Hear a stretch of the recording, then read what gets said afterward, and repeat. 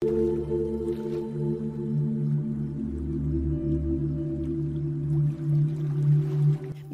Universos. Universos es el espacio donde de la mano de Marta Carrillo y de los expertos te damos herramientas para que logres crear la vida que deseas. Vicente Herrera, psicólogo de parejas, nos da sus estadísticas sobre lo que lleva a una pareja a divorciarse.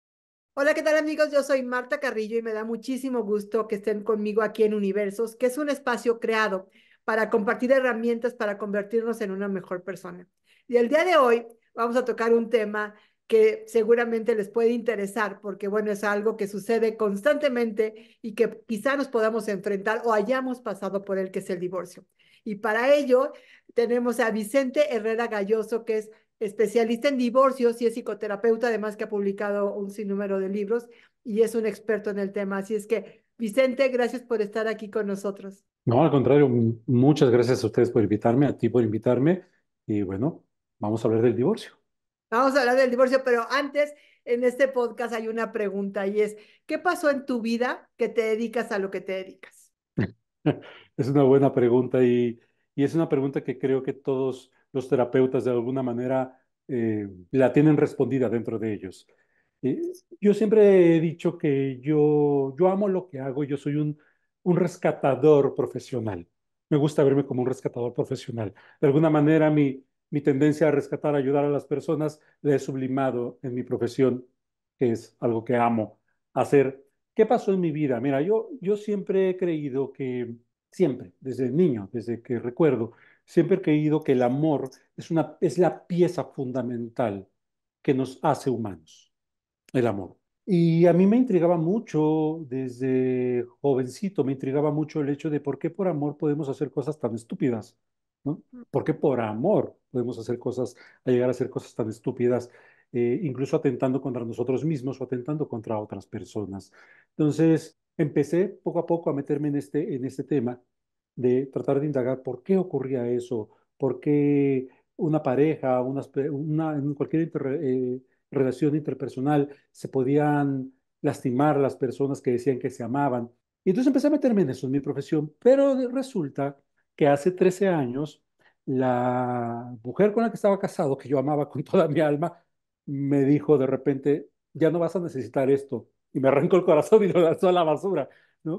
Porque decidió terminar nuestro matrimonio y es algo que yo no vi venir a pesar de toda la experiencia que tenía en, los, en estos temas. De repente eh, em, no lo vi venir y fue algo que me, me marcó mucho, me impactó mucho. Y yo siempre he creído que, en las experiencias que te marcan personalmente son aquellas experiencias que puedes mejor compartir con otras personas. Y en mi caso, en mi profesión.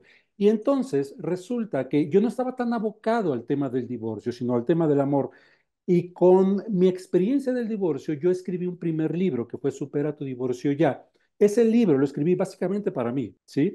Entonces resulta que el libro empezó a, le interesó una editorial y empezó a tener este ale y empezó a, posicionarse y de ahí fue que ese evento, ese parteaguas en mi vida fue lo que marcó. Yo quiero siempre transmitir a las personas todo lo que yo aprendí, lo que yo hice específicamente, los hábitos que creé para poder salir adelante fortalecido, sano, bendiciendo a, a, a mi ex esposa, eh, de manera muy, muy saludable. Entonces, eso fue lo que, lo, lo, que te diría que pasó en mi vida para yo enfocarme en este camino.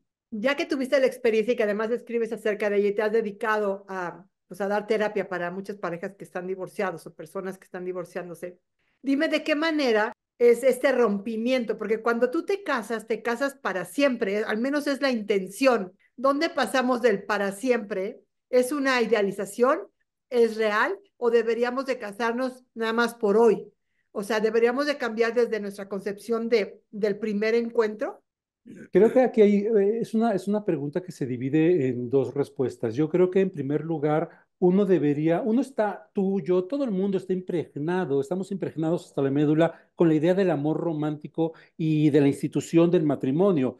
Pero aquí se nos olvida una cosa, se nos olvida que como toda institución, como todo ente, el matrimonio ha ido cambiando, la forma de abordar el matrimonio y del amor dentro del matrimonio ha ido cambiando con el paso del tiempo. No es, el mismo matrimonio que enfrentaron nuestros abuelos, nuestros padres, nosotros y que van a enfrentar nuestros hijos, ¿no? Va cambiando y uno tiene que adaptarse. Entonces, algo que permanece constante, a pesar de que la institución cambie, es la idea, las ideas románticas dentro del matrimonio. Tiene que ser para siempre, eh, eh, tienes que tienes que eh, estar comprometido en cuerpo y alma absolutamente, sin quedarte nada para ti, sino dármelo todo a mí y yo a ti. Nos tenemos que contar todos, esos mitos que en realidad están como parafernalia actualmente en el amor. Entonces la gente entra, la mayoría de la gente entra, aún, aún en los tiempos que vivimos, entra con muchos de estos mitos.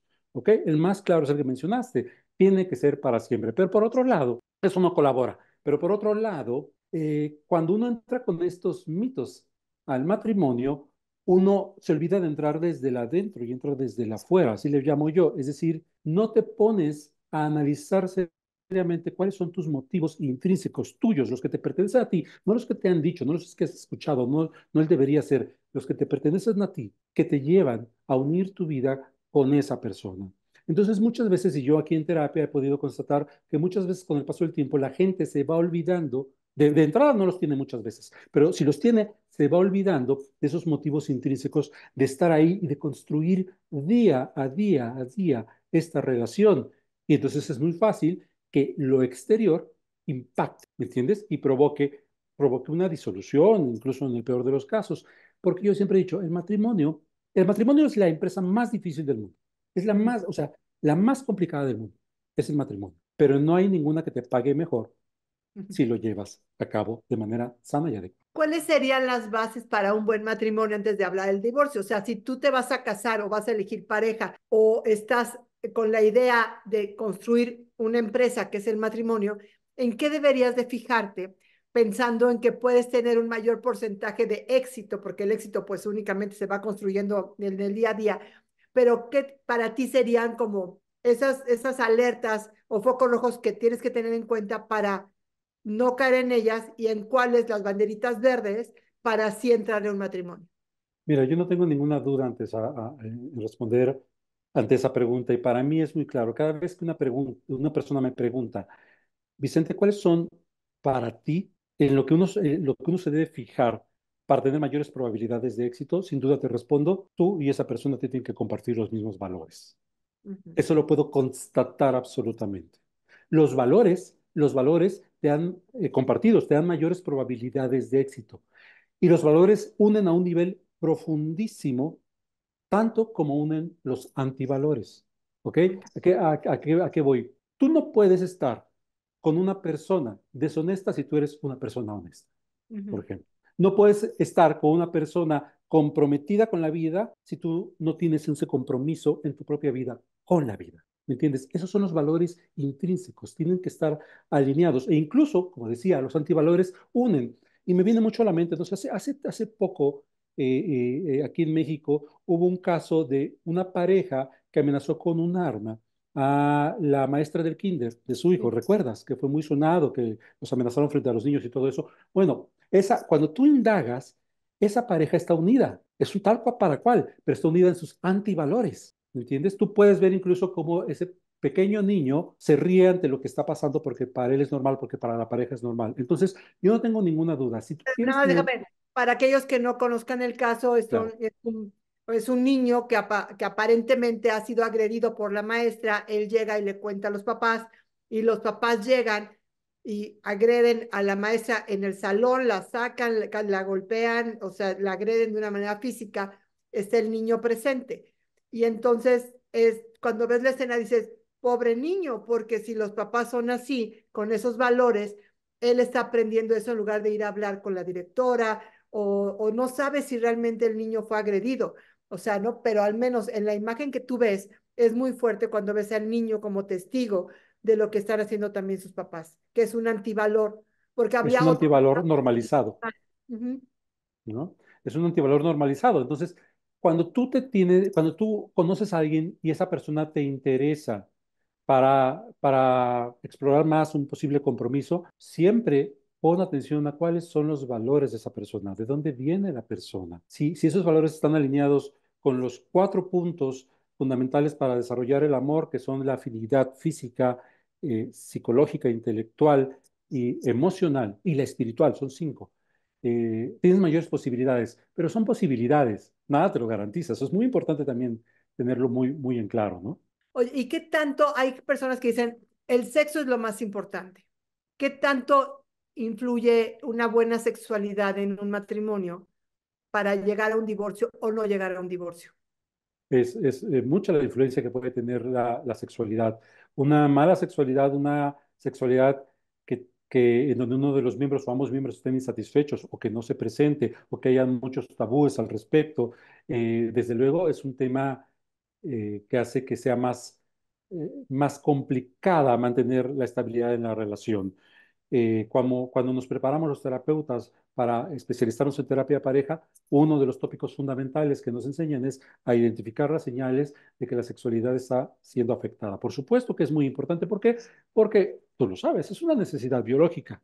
Y toda necesidad biológica, cuando empieza a dejar de satisfacerse, como comer, como dormir, como tener sexo, evidentemente es algo que no, desequilibra nos, nuestra homeostasis, nuestro equilibrio interno se ve afectado y entonces eso se refleja en ciertos comportamientos que van en detrimento de la pareja. Sí, por supuesto, eh, es fundamental aparte la parte íntima, la parte sexual, pero fíjate, no solamente la parte sexual, que va, la parte sexual es muy importante, pero tiene que ir aparejada con la parte íntima, ¿ok? Uh -huh. La, la, la, sexualidad es la unión de los cuerpos, la intimidad que es la unión de las almas y de las mentes. Si están esos tres tópicos, tu sexualidad va a ser, vas a ser el mejor amante para tu pareja y viceversa, y eso será maravilloso. Ayuda mucho. ¿Cuáles serían las principales causas del divorcio en este momento? Porque, o sea, cada vez hay un mayor porcentaje de divorcios.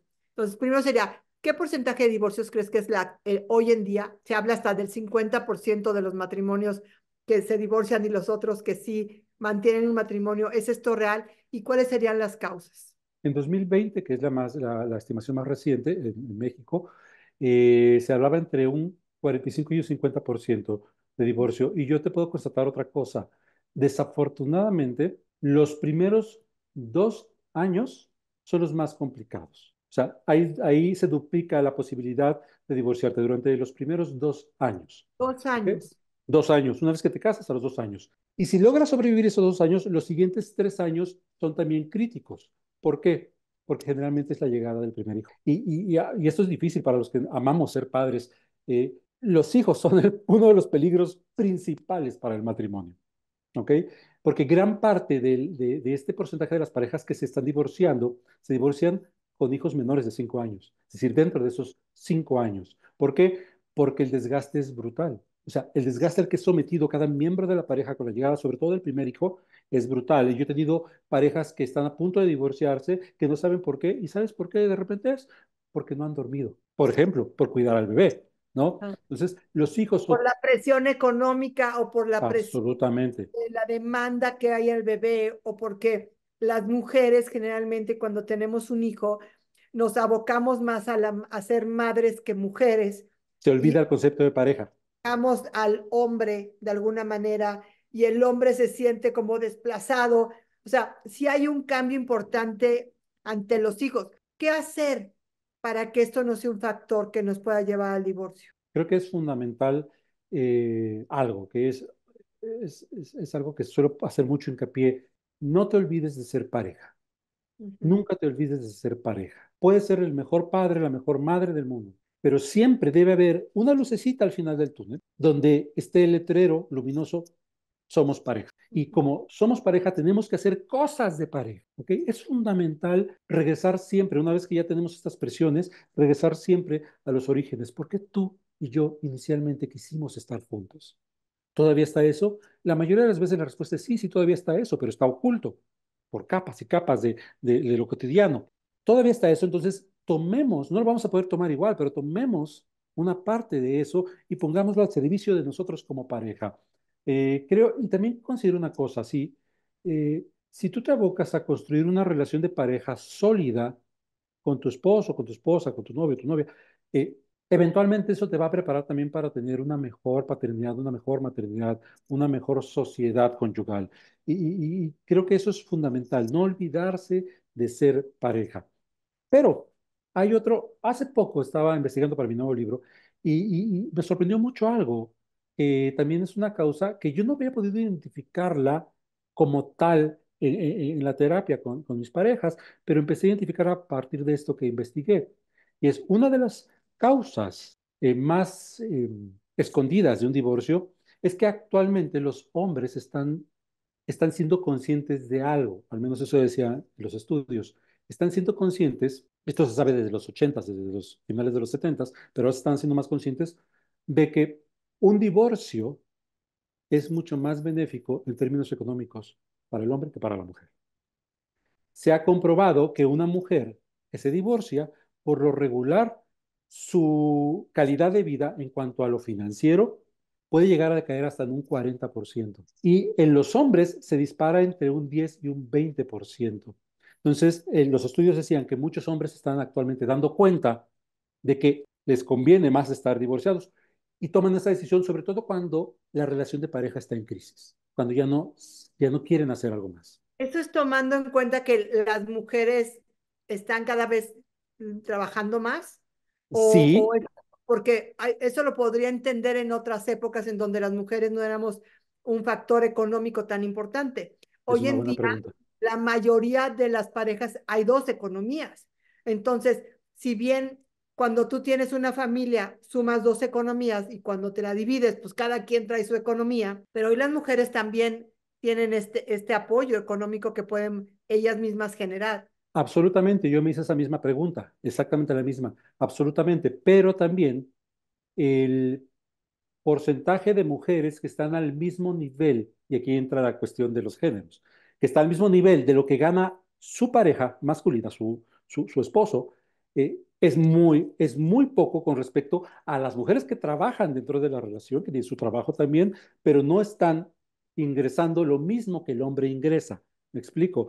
Entonces, no hay garantía de que a pesar de que tú tengas tu propio trabajo, no pierdas ese porcentaje, ¿me entiendes? Dentro de la relación, porque, porque la diferencia salarial es muy evidente, a pesar de que tú tengas tu trabajo ahora se da mucho también este caso donde las mujeres ganan más que los hombres. ¿Qué pasa ahí? Porque también, aunque esto que tú dices de, de, que ganan diferente en la economía y que las mujeres hay todavía sueldos abajo de los que tiene un hombre es una realidad, pero también es una realidad que hay mujeres que ganan mucho más que sus parejas y esto ha fracturado de alguna manera a los hombres porque su parte de proveedores se ve cuestionada y no todos aceptan esta situación y a veces es difícil de manejar.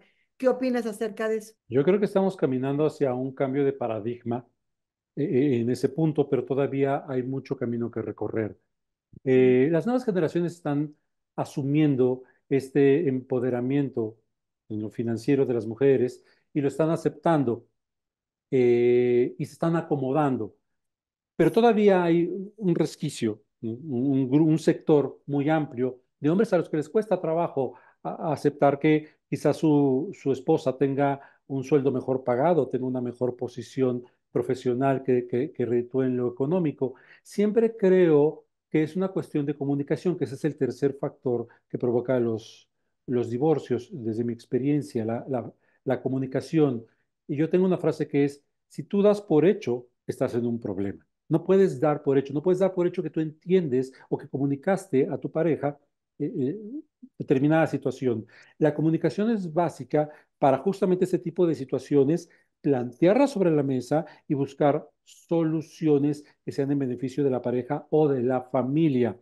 Eh, una cuestión que es muy importante es que la pareja debe estar siempre consciente de que a nadie a nadie, ni a ti, ni a mí, ni a ninguna persona nos gustan las charlas incómodas.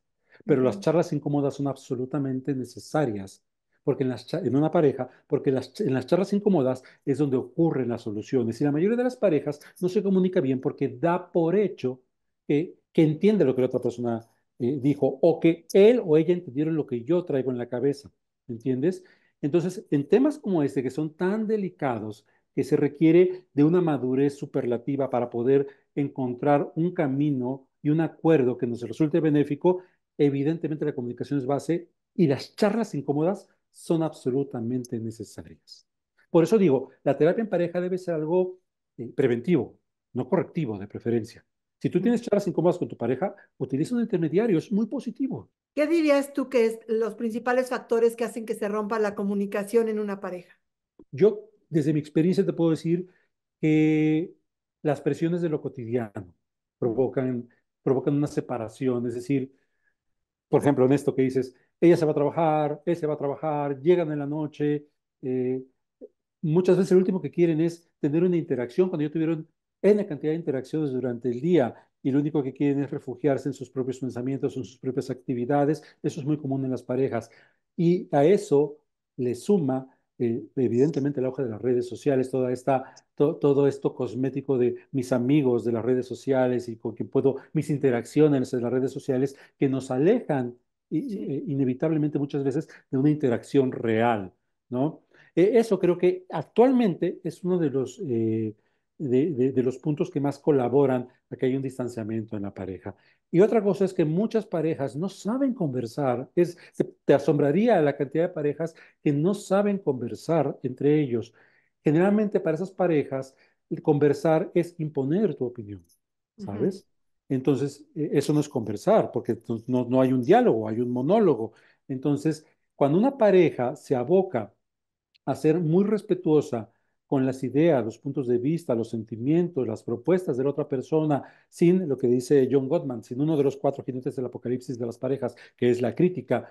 Eh, eso, eso permite una mejor comunicación y eso es lo que muchas veces se tiene que trabajar cuando hay un, un rompimiento de la comunicación, reaprender a conversar en pareja y a evitar la agresión pasiva, ¿no? Ahorita hablabas de la crítica, porque a veces la crítica es frontal, pero muchas veces es como por debajo del agua también. Que es más dolorosa. Es más dolorosa porque si algo, eh, lo sabemos bien, si algo nos mantiene en ascuas, nos lastima, nos, nos confunde, es la incertidumbre. No saber leer las señales que se supone que, que, que, que debo conocer más porque pasa el tiempo a mi lado o yo a su lado Mira, yo te puedo decir algo, no hay nada más desgastante en una relación de pareja, y, esto por favor, si, si van a poner atención a algo de este podcast, pongan atención a lo que voy a decir a continuación. No hay nada más desgastante y que provoca más problemas en una pareja que la falta de predictibilidad de uno de los miembros. Que el otro miembro no sepa si yo digo esto, ¿cómo va a reaccionar esta persona? No pueda yo predecir más o menos su comportamiento. Hoy me va a regañar por algo que me aplaudió el día de ayer hoy se va a enojar por algo que ayer no le prestó atención, ¿sabes? Esa falta de predictibilidad es una de las cosas que más desgastan a la pareja y esa falta de predictibilidad es una, eh, una un comportamiento pasivo-agresivo. Entonces llena de confusión y cuando tú estás lleno de confusión, ¿qué pasa? Cometes más errores. Y como cometes más errores, viene otra vez el comportamiento pasivo-agresivo y se hace un rompimiento en la, en la comunicación y empiezan los conflictos serios para la pareja. Para ti, ¿cuáles serían como los tres elementos que te dicen, voy encaminándome a un divorcio?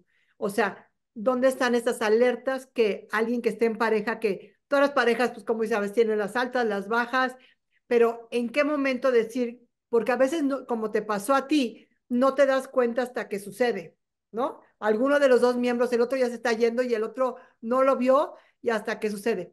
¿En qué tenemos que estar atentos para saber que esto puede ser algo que se esté gestando? Yo diría que eh, lo primero es em, preguntarse si lo que originalmente nos unió a ti y a mí sigue estando presente. Creo que uno tiene que hacer un ejercicio de autocrítica a cada determinado tiempo con respecto a su posición frente a la relación de pareja y esa pregunta es fundamental. Preguntarse honesta y crudamente y responderse de esa misma forma. Eh, lo que me unió a esta mujer, a este hombre, todavía sigue, estado, sigue estando presente, se ha transformado, ok, se ha transformado y me siento cómoda o cómodo con eso, o ya no me siento cómoda o cómoda con eso. Eso es lo primero. La segunda yo te diría es si, si hay una, si hay un distanciamiento en lo físico, en lo emocional, si cada quien está haciendo su vida, si, si cuando tú te das cuenta de que te estás convirtiendo en un roomie de tu pareja, esa es una señal brutal de que te estás encaminando hacia, hacia un rompimiento muy probablemente. ¿Ok? ¿Por qué? Porque la dinámica de, de, matrimonio, de pareja, de estar juntos, y, tiene sus propias reglas.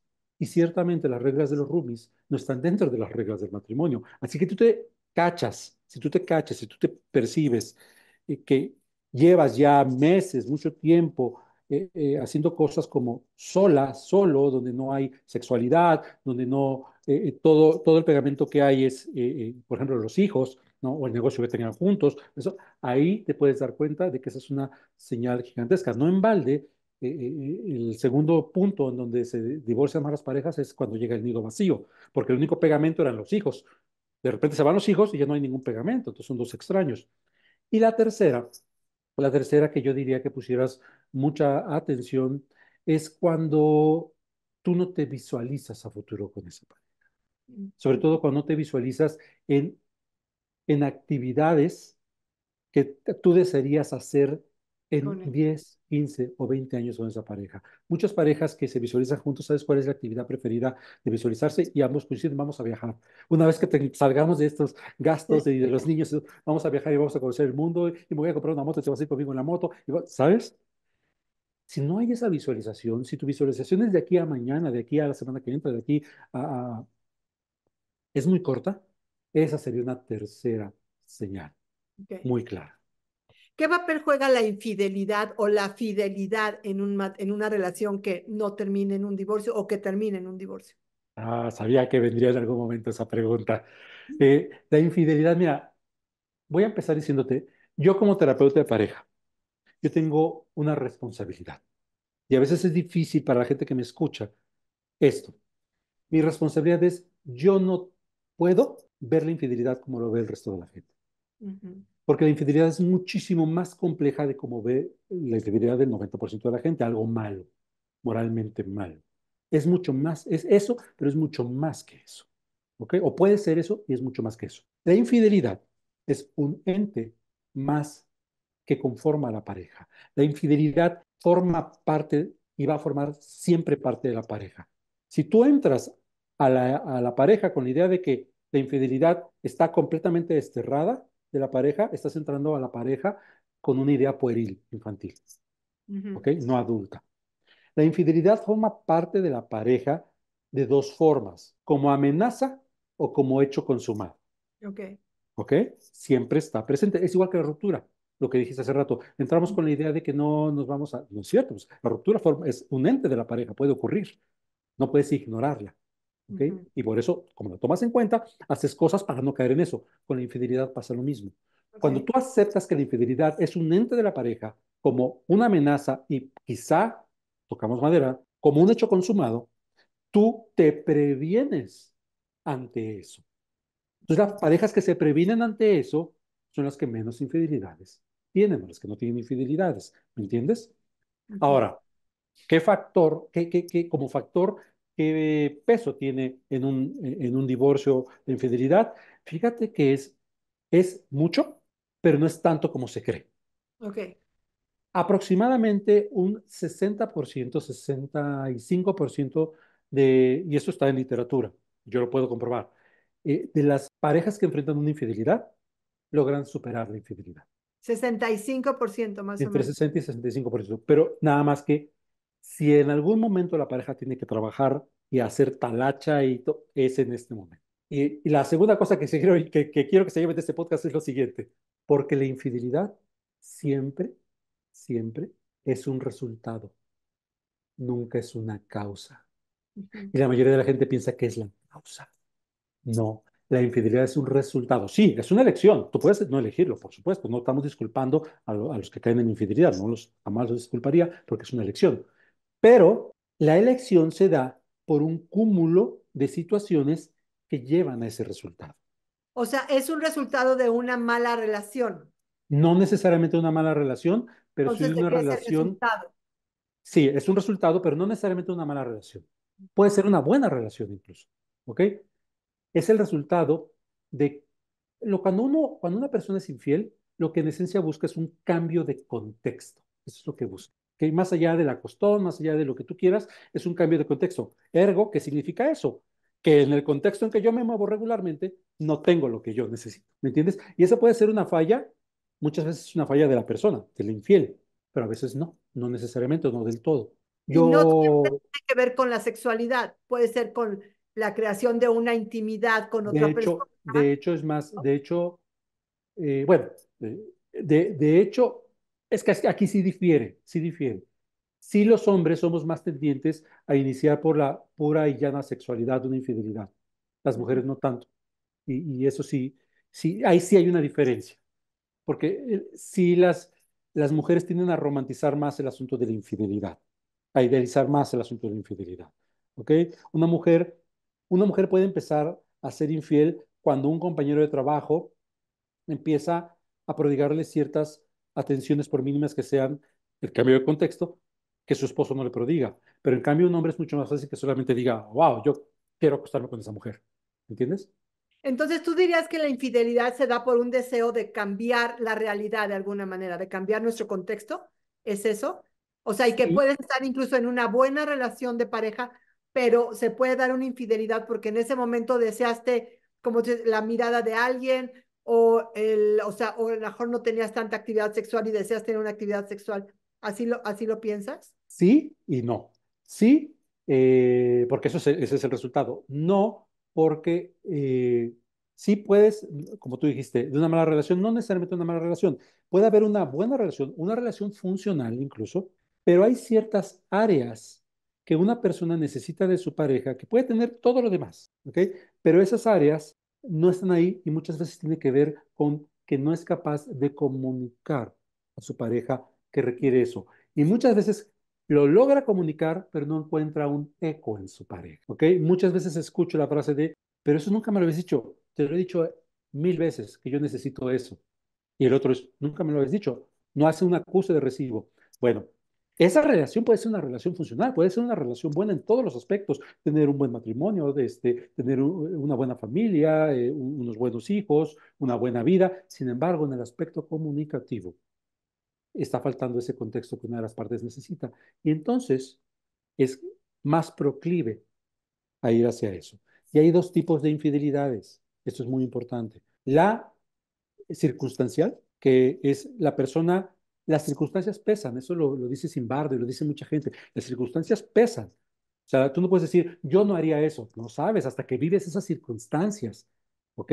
Las circunstancias pesan y como las circunstancias, circunstancias pesaron de tal forma, se cayó en eso. Y está la otra, la infidelidad que, que, un poco cómicamente llamamos deportiva, ¿no? Que seas tú, o sea, quien sea, te van a hacer infiel, los famosos don Juanes o doña Juanas, ¿no? Eh, eh, dependiendo de qué tipo de infiel tengas a tu lado, es que tienes más posibilidades de salir adelante de la infidelidad o no. Es mucho más fácil recuperarse de una infidelidad circunstancial.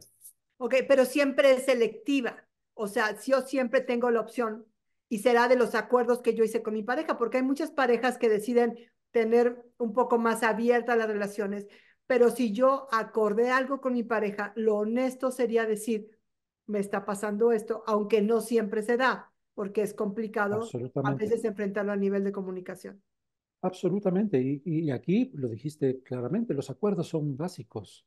O sea, no puedes, como te dije, el matrimonio, la relación, la relación de pareja es, un, es una empresa, es una empresa, tienes que tratarlo como tal, son dos socios, son dos socios que quieren lo mejor para su empresa y su empresa se llama relación de pareja, matrimonio, ¿ok? Tú no puedes poner una empresa, una papelería con alguien, con un socio, una socia, y no decirle que quieres comprar este tipo de reglas o este tipo de pegamentos, porque pues lo va a adivinar. No, o sea, tú tienes que poner los acuerdos claramente. contigo en que a veces te romantizamos tanto la relación del matrimonio que no nos sentamos a hablar sobre todo lo que hay que hablar, desde cómo ves la economía, cómo ves los hijos, qué pasa si no tenemos sexo o si tú un día eres infiel, o sea, todos esos panoramas no los abordamos. O sea, damos por hecho que la relación va a seguir caminando porque un día dijimos, me voy a casar contigo, ¿no? y que y que es un trabajo de todos los días. Siempre le digo a la gente, a ver, ya se lo dijiste, es que me molesta esto. ¿Ya se lo dijiste? No se lo he dicho. ¿Por qué estás esperando que cambie algo que no le has dicho? Es que deberías saberlo. No, no, no, no, no, no. no, no, es, no, es mago, no es sí, no funciona así. Tienes que decírselo, ¿no? Y, así es como funcionan los acuerdos. Es este negociable y este no negociable. ¿Qué podemos hacer? y los no negociables, tenerlos muy claros porque generalmente son los que después duelen más cuando no se dijeron, yo creo. Sí, totalmente. Y con los no negociables hay algo muy interesante. Muchas veces los, no nego- los que creemos no negociables, cuando ya nos podemos acordar, nos damos cuenta de que son negociables en realidad, pero venían de nuestros, nu- nu- nuestras ideas inculcadas de mucho atrás, ¿me entiendes? Una cosa con la infidelidad es, nunca se pone, tú, tú te has puesto a, así, a, a sentarte con tus parejas a decir, para mí infidelidad es esto, esto, esto, esto. ¿Para ti qué es infidelidad? Ah, es esto, esto, esto. No, tú asumes que, este, ah, si le diste like, eso para mí es infidelidad. Nunca me dijiste eso. Bueno, hay que decirlo, no hay que romantizarlo. Exacto. Y ante un divorcio, ¿cómo superarlo rápido? ¿Se puede superar rápido un divorcio? No, Es no, un proceso. es un proceso, es un proceso. Fíjate, eh, eso causó confusión en mi primer libro, porque mi primer libro se llama Supera tu divorcio ya, ¿ok? Entonces decía, no, pero ¿cómo no se puede superar así? Es un proceso y va a depender de varios factores. La edad de los participantes es un factor muy importante. Mientras más joven es más largo el proceso de superación del divorcio, ¿ok? Mientras menos experiencia de vida. Eh, la, no hay una diferencia entre géneros, eso que dice de repente, es que los hombres y las mujeres, no, se, se debe a una experiencia de vida, ¿ok? Eh, es la duración de la relación, si hay hijos o no, eh, si hay algo que los una, como por ejemplo un negocio, em, las, esto es muy importante, las herramientas emocionales que individualmente cada, cada uno de los integrantes tenga para enfrentar esa situación, eh, todos esos son factores que inciden en el proceso de divorcio, pero el proceso de divorcio está, y te lo juro que yo lo veo en terapia, ¿eh? Los estudios dicen, para superar una relación importante, el promedio es de un año, cinco meses y 27 días. O sea, un año y medio. Y yo te lo juro, al año y medio es cuando la gente, la Pax Romana. Sí, es cierto. Empieza a tener paz y control y a verse, a sanar las heridas, porque siempre hay que sanar cuestiones. Es un duelo finalmente. Y es un duelo que vas a tener que pasar, no importa que corras. Tú puedes correr y perder tres años. Mientras más rápido lo enfrentes y enfrentes el dolor y, y- y la desesperación y toques fondo, eh, superar un divorcio es un proceso raro. A veces estás bien, a veces estás mal, a veces estás de buen humor, de mal humor, pero al final de cuentas vas a estar bien si trabajas. Si trabajas en ti, estoy de acuerdo contigo. Vicente, y si tú pudieras regalarle a la gente algo, un regalito de conciencia y dijeras, con esta varita mágica quiero que toda la gente del mundo tenga esto, ¿qué les regalarías? Yo soy pro pareja, a pesar que me dedico a temas del divorcio y todo esto, soy pro pareja y yo les diría, apuesten al amor. Apuesten al amor siempre dentro de límites emocionales razonablemente saludables, pero apuesten el amor. El amor es el motor. Y como dijo Eric Fromm, el amor es un acto de fe. Sí. Y si tú tienes poca fe, vas a tener poco amor. Entonces, ten fe en el amor. Ten fe. El amor siempre te reditúa. Vicente, muchísimas gracias por esta entrevista, por esta plática, lo agradezco profundamente. Y bueno, amigos, yo soy Marta Carrillo y nos vemos en el siguiente universo. Hasta la próxima.